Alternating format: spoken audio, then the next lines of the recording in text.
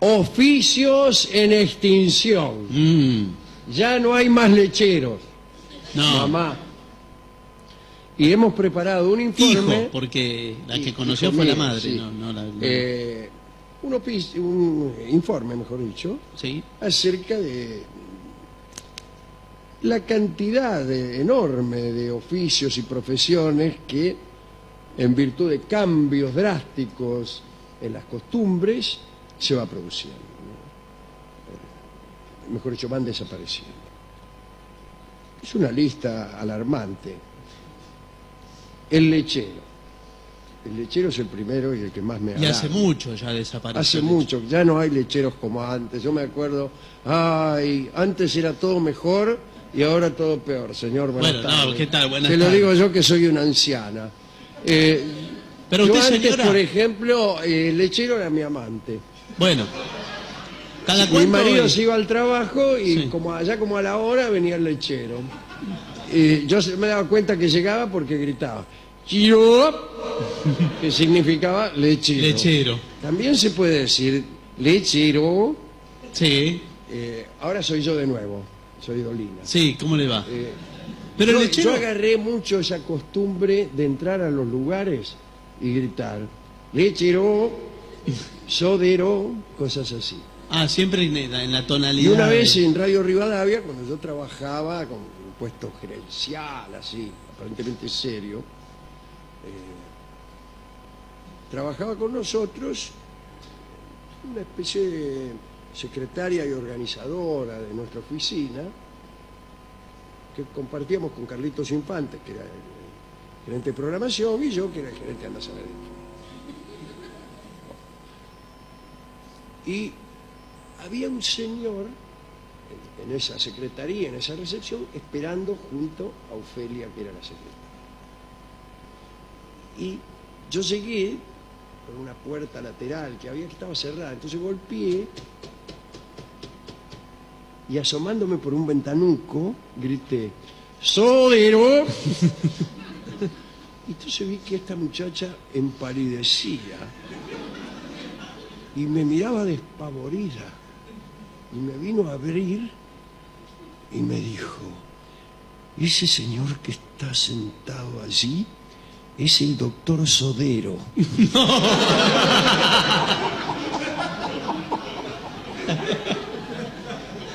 y yo desde luego salí corriendo. Claro, qué puntería. me fui, imagínense. Bien, Qué puntería. eh, eh, los lecheros tenían por costumbre eh, ser amantes de sus Eso clientes. decían. Porque- No, eh, evidentemente. No, evidentemente no. Es verdad que ¿Qué había... otra cosa va a ser una persona que llega una hora después que se ha marchado el marido de esta señora? No, es que el, el servidor, vamos a llamarle de alguna manera. Lechero. ¿por No, qué sí. No, digo... ¿Qué tiene de malo lechero? No, es Yo si lechero, fuera pero lechero digo... preferiría que me dijeran lechero y no servidor. Servidor lácteo. Es mucho peor. Es horrible. No, pero le digo, para englobarlo en la categoría... El, al De lechero. No, espere. Al lechero, en la categoría del servidor que ejerce una acción física con su producto que la tiene que entrar o que la tiene que poner o que la tiene que o que sacar. acomodar. O que acomodar. Entonces, como el sodero, igual, entra los sifones, saca los sifones, los vacía. El lechero, igual, las botellas de leche, antes de, iba Antes con una siquiera- vaca. Ni siquiera, bueno, no lo digo con vaca, pero Allá había lejos. Un, un estadio intermedio con un tarro grande de leche y una medida de un litro. Y entonces la señora salía, sacaba la lechera, Claro, y ahí. la mano y el tipo servía así, era una cosa muy, Mm. muy sucia además. Y bueno. Porque andás a ver si no le entraban este, eh, insectos en la leche, Y bueno, no si el tipo no metía el dedo, además, para mí le echaba agua. Bueno, sí, Era, seguro. era clásico que el lechero aguaba la leche para La rebajaba. la rebajaba, exactamente. Y después no hubo- el precio. No. Y después hubo lechero ya con la leche, eh, con la leche envasada. Claro, sí, sí, que venían de la Martona, poner. Eh, claro, de algo. Había Bueno, unos, bueno. eh, yo llegué a ver, inclusive lecheros que traían en una pirámide la leche. Sí, eh, se ¿Cómo era? envasó durante mucho tiempo la leche de las tres niñas. Esa En era. una pirámide, sí, sí, sí, buenas tardes. ¿Cómo le va? Un Era, cartón era muy pirámide. difícil apilarla. Sí. pues se caían. No, tenía que comprar por lo menos cinco. Y tenías que comprar, creo que eran 270, para que formaran un cubo. Y el sodero era mucho peor, porque el sifón era una cosa muy peligrosa. Sí, sí. Yo formé parte de, de una comisión de vecinos eh, que propugnaba la abolición del sifón. ¿Por qué? Tercera causa de muerte en Junín. En Junín, En ¿me dieron Junín, eso? eh, la explosión de sifones era prácticamente imposible de evitar. Todos los sifones, más tarde o más temprano, reventaban. Bueno, qué Si te agarraba cerca, te liquidaban. Pero ¿por qué el caso puntual en Junín y No no? te lo puedo decir porque yo fui eh, familiar de Carmelo Maidán, que era el sifonero de, de Baigorrita. Bueno, Así bien, que yo sé muy bien cómo se hacían los sifones. No, yo no voy a decir que no. eh, Carmelo hacía unos sifones de 60 atmósferas. Sí, y eso, eh. Quiere decir que una presión interna del sifón cuidado. de 1,60. Entonces cuando se rompía ese sifón estallaba en 2.000 pedazos y mataba a todo ser vivo Pero señor, en 40 metros a la redonda. Y además con qué... eh, Explotaba un, sifón en Baigorrita, morían 23. Trágica explosión de un sifón. de los 24 habitantes, 23 morían. De... ¿sí? Primera causa de muerte. Claro, ahí. ¿Y con qué presión saldría la soda? Porque... Sí, sí, sí. Ah, la soda. Porque si son Ah, no, 60 no, había manera de atesorarla en ningún lado. La tenías que poner primero en, en- en un tacho, Claro. en un fuentón, porque si la metías en un vaso se volcaba. Y salía tan fuerte. rebotaba, Sí, se sí, rompía ¿no? el vidrio. Claro. Ah, la presión de los sifones en- de Maidán en Baigorrita. Eh, Dios bueno, mío. pero señor, entonces eso. Igual le sigue habiendo algunos soderos, Sí, ¿qué to- tal? todavía hay, pero se han también diversificado, ¿vio? Que está Sí, venden otras cosas. Otras cosas, y es más Por bidonero. ejemplo, eh, tiempo compartido. No, no vende tiempo compartido. Ahora es más bidonero, porque lleva Eh, bidones. sí. Eh, ¿Sabe lo que se vende? No digo que mucho, pero en gente rumbosa, así que quiere, afectada, que quiere tener una vida mejor de la que tiene. Sí. Se venden esas cosas para dispenso. Claro, los de los dispensers para el ¿Cómo, agua. cómo- para qué sirve? O eso? gente que no tiene agua potable también, ¿eh? no solo los de... Claro. Eh, sí, lo, lo pone, lo pasa, el tipo se lo tiene que...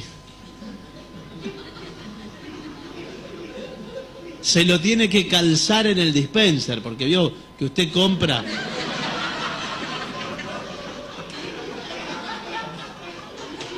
Menos mal que es radio, ¿eh?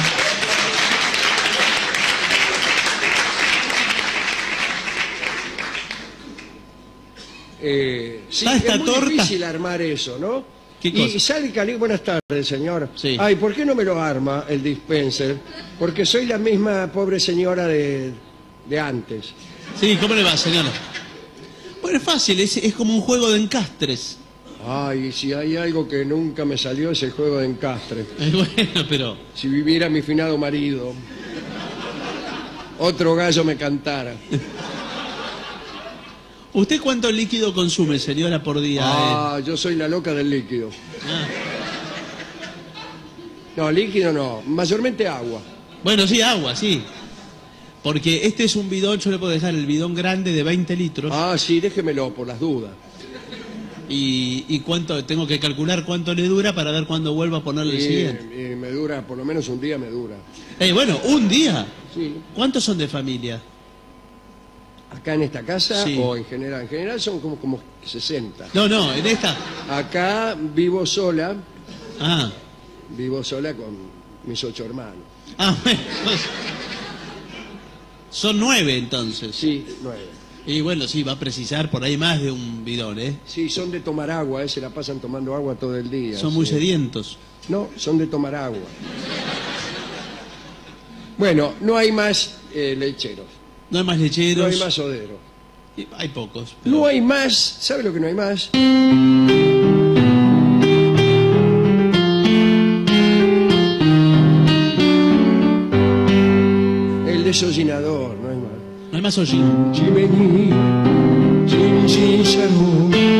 Es- es- no hay más desollinadores, pero nunca hubo. Yo solamente vi Hay dibujos. des- desollinadores en las películas de Dick Van Dyke.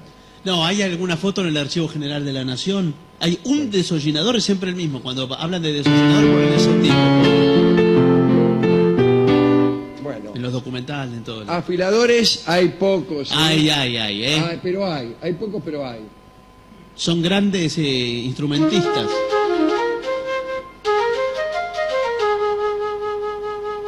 Buenas tardes. Buenas tardes. Eh, ¿Me permite que le toque la siringa? Sí, pero ¿esa es la siringa? ¿Seguro? No, esta, esta. Ah, no, sí. Ah, no hay más afiladores. No hay, dice acá, colchonero. No, eso sí que no Eso hay. sí que no. Eh, No hay. Hace mucho que no hay. ¿Hay caleciteros todavía? No están. Y de las pocas calecitas que hay, que son muy yo pocas. tuve, eh, yo me peleé no hace mucho con un calecitero, Ajá. porque yo al, salir del trabajo, yo trabajo en una compañía internacional, ¿no? Ujú. trabajo en la Texaco, Ah, mire. soy gerente. Y bueno, cuando vuelvo a casa, pues tengo un puesto de mucha responsabilidad. ¿no? Y bueno, me doy una vuelta en una calecita que hay. Ah, para de- desestresarse y... No, porque me gusta. Ah, bueno, está bien. ¿Usted cree que los niños van a la calecita para desestresarse? No, los niños no, señor. Van porque les gusta. A mí me gusta subirme a un equino, disculpe la expresión. No, un caballito. Y, y dar vueltas mientras suena la música. Sí.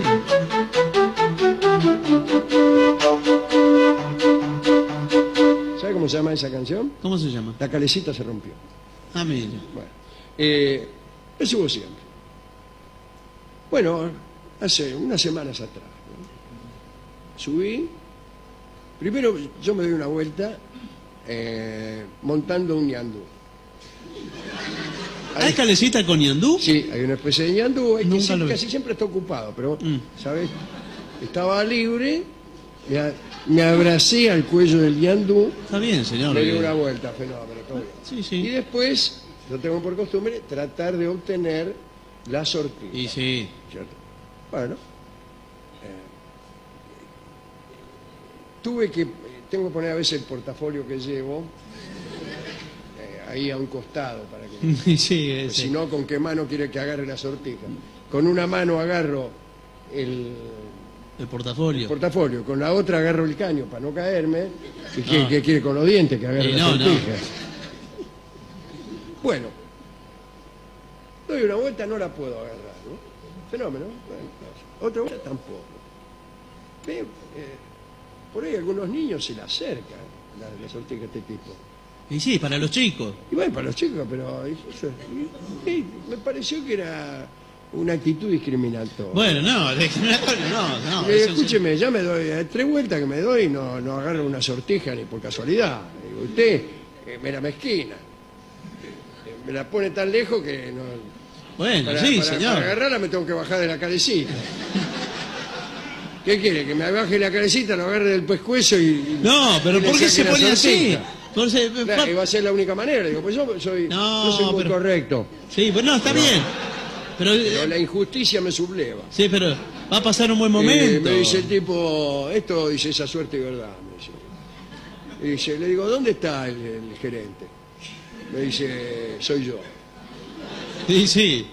Y le digo, ¿y el dueño de la que soy yo también? Sí, no es la Texaco la calecita, ¿eh? Eh, eso me dijo también. Sí, vean. Y le digo, no sabes con quién te estás metiendo. Y me fui. ¿Qué se fue? Y no le piso más, ¿eh? No, está bien, pero... No, porque a ¿Qué? mí, mire, por las buenas me sacan hasta la camisa. O por las malas. Ah, bueno. Por las malas me sacan hasta la camisa. Pero escúcheme, y, y los empleados de ahí de Texaco, los que están ¿Qué eh? A su cargo, digamos, ¿no pasan por la calecita y lo ven a usted a la salida de la oficina, dando vuelta en ¿Qué? la calecita? No sé, me parece una situación un No, poco... primero porque la Texaco queda en el centro. Esta, esta calecita está cerca de casa. Ah, está cerca de su casa. segundo, ¿qué hay? No, no, está Porque bien. yo cuando voy a trabajar voy temprano, voy tarde. No, está Llego tarde, yo, ay, disculpa, vine tarde porque estuve hasta la- en la calecita hasta las 5 de la mañana.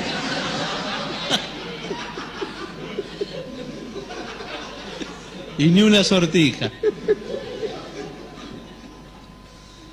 Ay, bueno.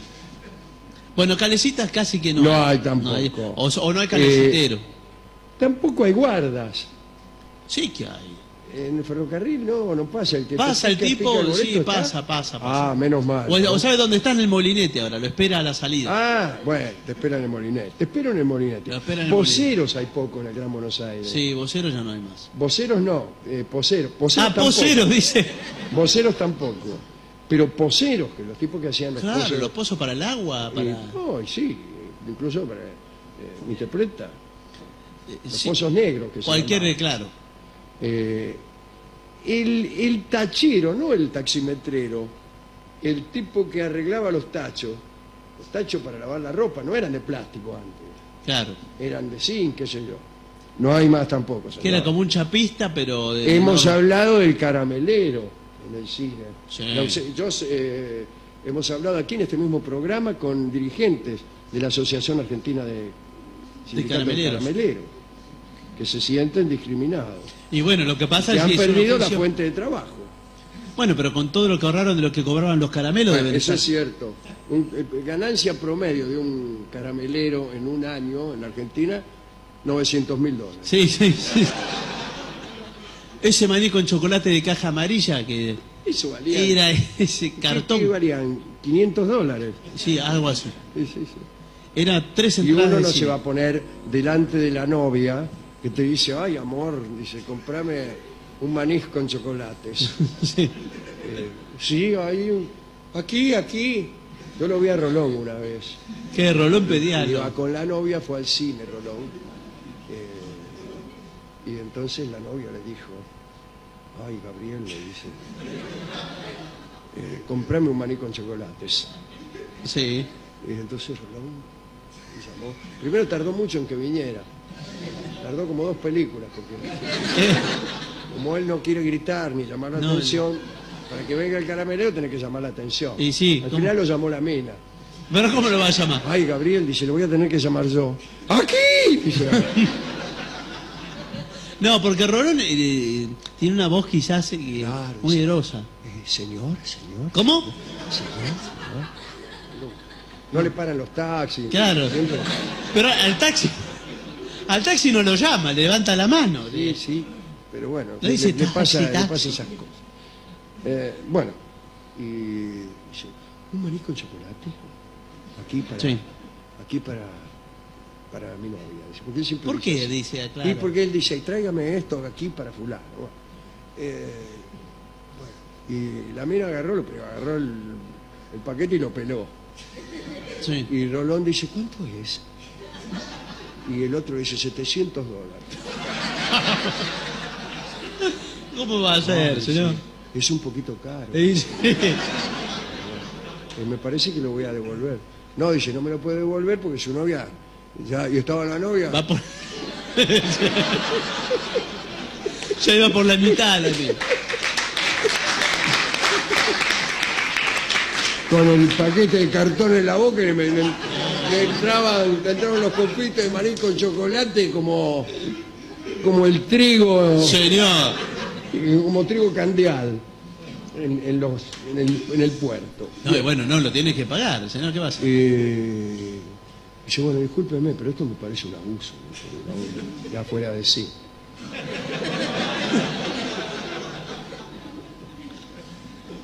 Igual es sí, sí, sí, sí, sí que es un abuso, soy el caramelero. O se cree que soy la madre Teresa de Calcuta. Y Rolón sacó 700 y sacó un cheque. Le hizo un cheque Le para el con por chocolate. 750, porque el caramelo no, yo con cheque le, le tengo que hacer un recado. Qué barbaridad, señor. Bueno, pero ahora el caramelero no está más, veo que tiene No que ir... eh, no.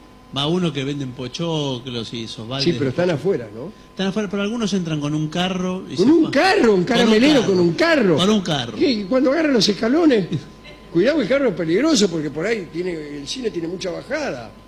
Agarrar Sí. la bajada, te, se crachan todos los carameleros allá en la fila 1. No, se para en un rincón. No sé para qué tiene el carro, para salir después. La, eh, para ir a la casa después. Eh, no, no va a la casa. Bueno, no hay tampoco. Eso no hay, hay poco. Paragüeros, faroleros. ¿Paragüero? ¿Había uno, un paragüero? Sí, ¿Y ¿Quién cree que vende el paraguas? No. Guirú. Y, eh, Lumbelaro. Usted que quiere el... Sí, el italiano. Quiere el curso de italiano y quiere palabras que le gusten. Lumbelaro. Ese es el Lumbelaro. Eh, paradores de bolos. Ah, sí. Ahí está, como hay... eh, buenas tardes, soy el Sí. sindicato de paradores de bolos. ¿Cómo le en va? la esquina de mi casa hay una cancha de bolos y cuando pasa tu hermana, etcétera.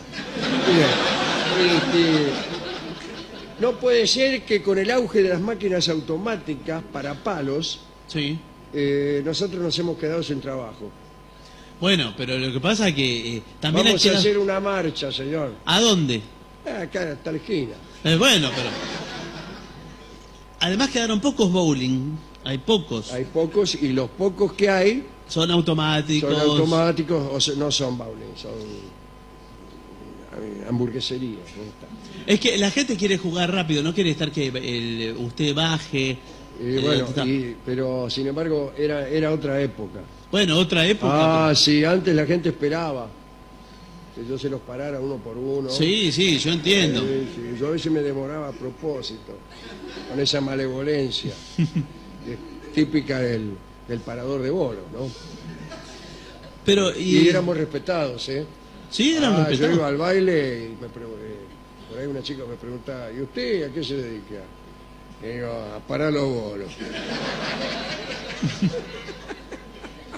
y se generaba una atracción o Una algo. tensión erótica. Sí, sí, eso. Una no, no me tensión. salía.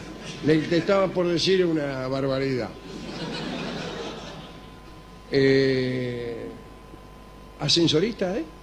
En algunos lugares hay ascensoristas, sí. El mimbrero. El mimbrero. Mimbrero, pero lo que pasa es no el se... mimbrero es el que hace cosas de paja, ¿no? Sí. Pero no se autodenomina, no se nombra a sí mismo. ¿Cómo no se nombra eso? No dice mimbrero, no dice. ¿Qué dirá? No dice. Uno, uno lo, Eh, mira. dice. lo mira y él te hace así. Sí.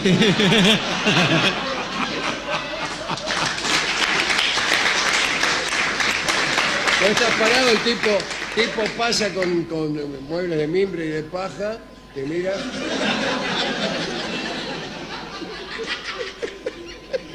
¿Y usted cómo lo llama? Y usted.